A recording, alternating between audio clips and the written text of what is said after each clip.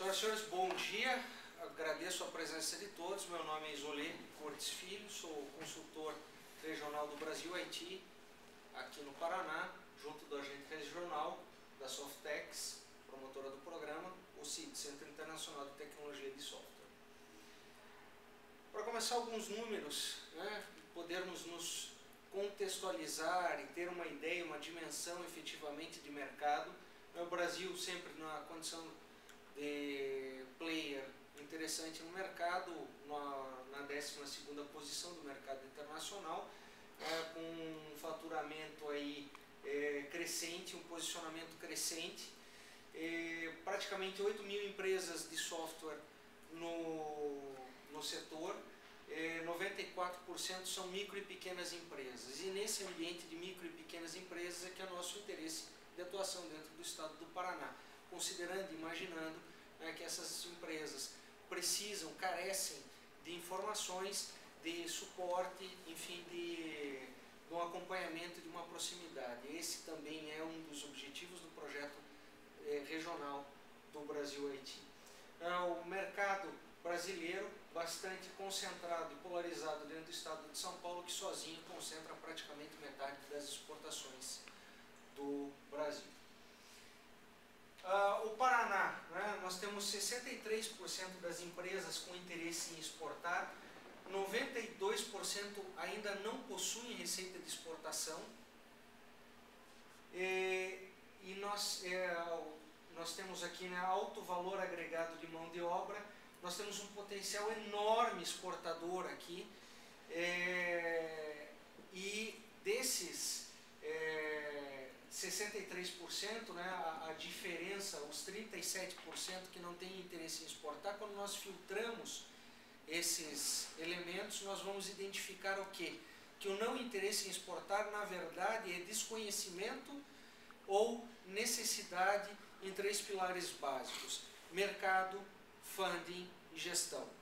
Então, é, a maior parte desses 37% está nessa condição, ou seja, se nós conseguirmos aparelhar estas empresas em termos de conhecimento, traremos elas automaticamente é, para dentro do perfil de enquadramento do programa, aumentando o potencial e é, aumentando o ambiente positivo de negócios.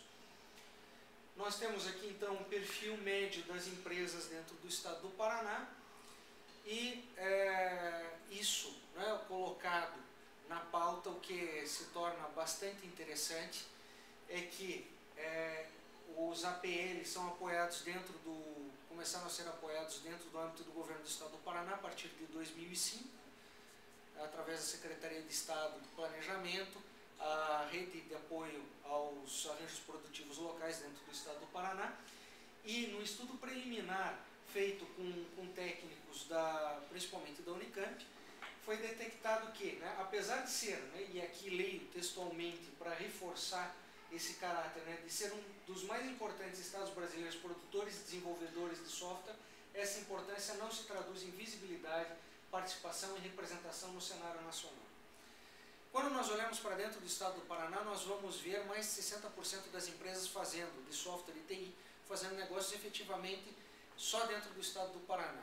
Existe um potencial enorme de direcionamento dessas empresas para canais fora do estado do Paraná e a nossa ênfase, obviamente, aqui, né, é aproveitando toda essa potencialidade, essa projeção que existe dentro do estado do Paraná e canalizar isso para o ambiente exterior.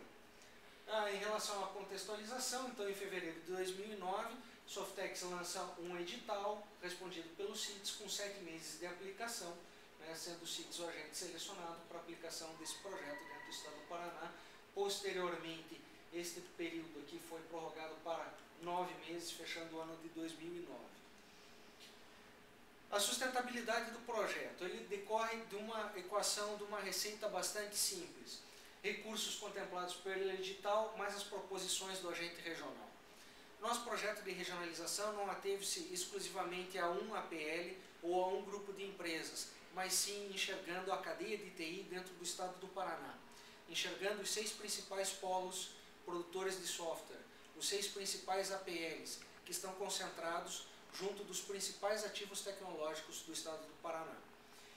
e o projeto foi concebido e olhado nesse sentido de apoiar as iniciativas de internacionalização, então espalhados ao longo desse território produtivo, assim como podemos chamá-lo. Ah, e então, esses recursos contemplados pelo edital compunham-se de uma verba da, para a sustentação de um consultor, um roadshow dentro desses APLs de software no Paraná, é, as proposições do agente regional é, envolvendo cinco cursos básicos elementares direcionados principalmente aos gestores das empresas, a realização de dois eventos, sendo o lançamento do projeto, que acabou acontecendo efetivamente junto com o lançamento do Curitiba Offshore, e, e mais uma rodada de negócios. Participação em feiras, eventos, seminários, rodadas de negócio e uma consultoria individualizada a empresas, ou seja, nós amplificamos e fizemos ressoar é, junto aos parceiros a ampliação, amplificação desse projeto, trazendo um plus, aquela parte composta pela Softex e o restante trazido como contrapartida não só dos empresários, das empresas, mas dos nossos parceiros locais. Então, a nossa necessidade efetivamente está aqui né, na atuação em parceria. As nossas vertentes de atuação, então, centradas em dois elementos, a capacitação e acesso a mercados. Capacitação com delineamento de cinco cursos e uma ação associada de acesso a mercados, é, acompanhamento e consultoria dentro de um sistema retroalimentado, envolvendo feiras e eventos, monitoramento de oportunidades, identificação de demandas e rodada de negócios. Né? Monitorando, então, com, fazendo a consultoria e o acompanhamento e orientação destas empresas para as atividades aqui mencionadas, fazendo o acompanhamento, redirecionando, reposicionando essas empresas.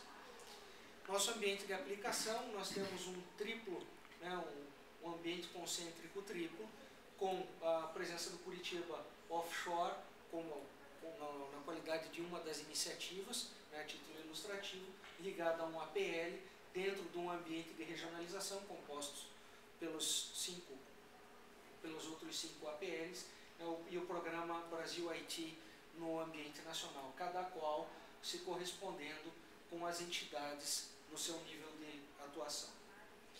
É, então, de forma visual aqui, aonde estão os principais polos produtores de software e tecnologia da informação do Paraná, fazendo um destaque para o eixo Curitiba, Londrina, Maringá, que foi contemplado já em 2007 por um importante economista japonês como uma das dez principais regiões do mundo é, com desenvolvimento tecnológico e com condições de mercado capazes de se destacar na atratividade de empresas. No Brasil e na América Latina destacam-se dois pontos. Este eixo Curitiba, Londrina, Maringá e o eixo São Paulo. São Paulo, aquela crescente São Paulo, Campinas, Hortolândia.